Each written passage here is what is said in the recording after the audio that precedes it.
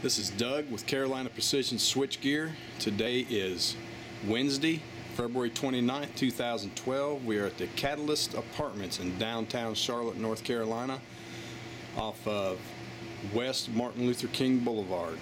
And today we'll be doing a switchgear inspection on the MS2 switchgear. It's a main feeder 4000 amp.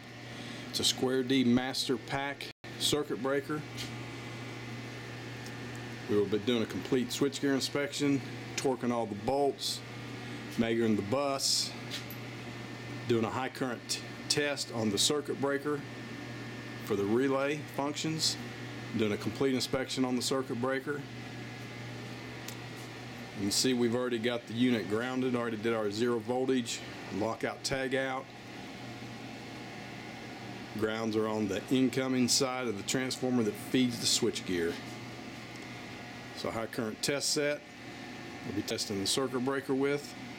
Yesterday we did MS1 and then on Thursday we'll do the last section down here which will be MS3.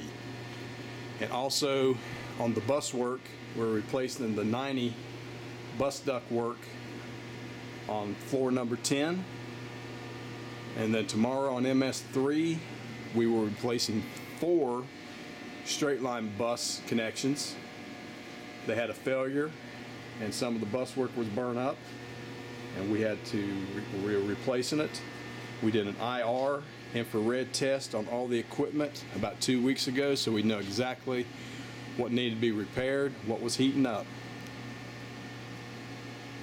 Again this is Doug with Carolina Precision Switchgear